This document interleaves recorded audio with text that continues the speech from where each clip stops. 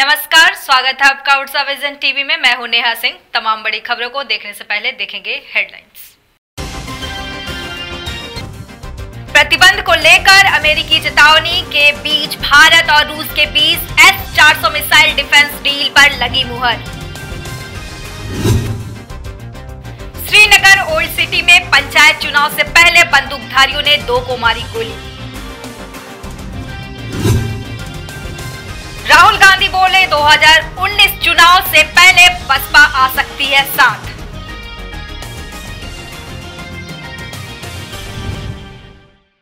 अब खबरें विस्तार से।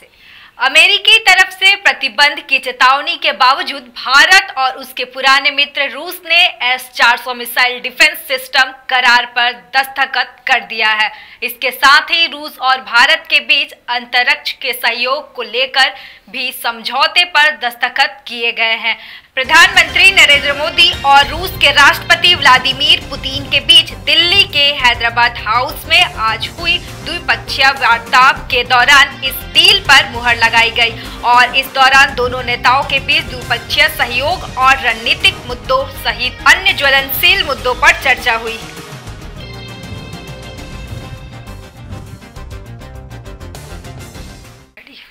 कांग्रेस अध्यक्ष राहुल गांधी ने आज कहा कि मध्य प्रदेश के आगामी विधानसभा चुनाव में उनकी पार्टी के साथ गठबंधन नहीं करने के बसपा प्रमुख मायावती के फैसले का कांग्रेस की संभावनाओं पर असर नहीं होगा। उन्होंने यह भी कहा कि 2019 के लोकसभा चुनाव में बसपा साथ आ सकती है। मायावती ने कुछ दिनों पहले ही कहा था कि वह मध्य प्रदेश और राजस्थान के विधानसभा चुनाव में कांग्रेस के साथ गठबंधन नहीं करेगी। उनके फैसले को भाजपा के खिलाफ विपक्ष के महागठबंधन बनाने के प्रयासों के लिए बड़ा झटका माना जा रहा है।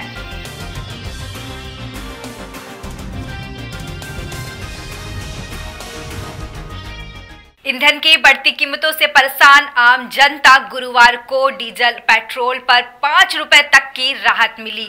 केंद्र की ओर से पेट्रोल, डीजल ढाई रुपए सस्ता करने के ऐलान के बाद भाजपा शासित कई राज्यों में भी दाम में ढाई रुपए तक की कटौती का ऐलान कर दिया गया है। वित्त मंत्री अरुण जेटली ने ऐलान किया कि केंद्र ने पेट्रोल डीजल पर डेढ़ रुपए उत्पादन शुल्क कम करने का फैसला लिया है।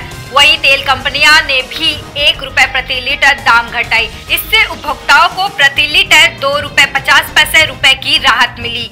अरुण जेटली ने राज्य सरकारों से भी दाम घटाने की अपील की है।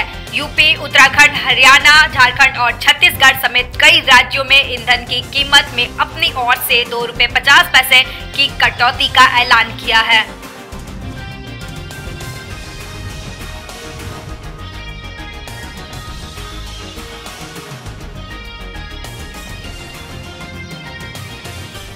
यूपी के बागपत में आज सुबह वायुसेना का एक विमान क्रैश हो गया। विमान में दो पायलट सवार थे। हालाँकि दोनों पायलट सुरक्षित है। क्रैश होने से पहले ही दोनों पायलट ने पैरासूट खोल लिया था। वायुसेना का यह विमान गजियाबाद के हिंडन एयरबेस से उड़ान भरी थी। लेकिन बागपत के पास पहुँचते ही विमान में कुछ टेक्निकल दिक्कत आ गई और विमान क्रैश हो गया। विमान बागपत के रंछाड़ गाँव के एक खेत में जाकर क्रैश हुआ। बताया जा रहा है कि प्लेन एयरफोर्स डे की तैयारी में जुटा था। हादसे के बाद वायुसेना ने जाँच का आदेश दे दिया है।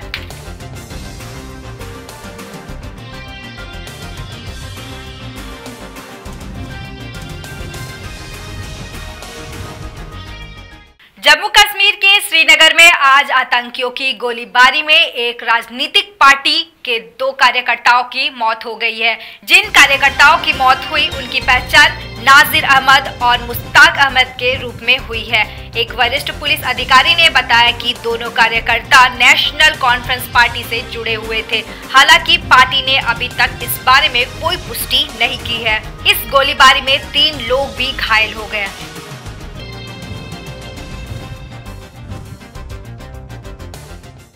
को समाप्त करने से पहले देखेंगे हेडलाइंस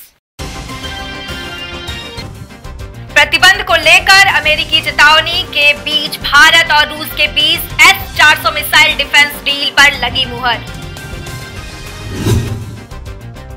श्रीनगर ओल्ड सिटी में पंचायत चुनाव से पहले बंदूकधारियों ने दो को मारी गोली. के 2019 चुनाव से पहले बसपा है साथ।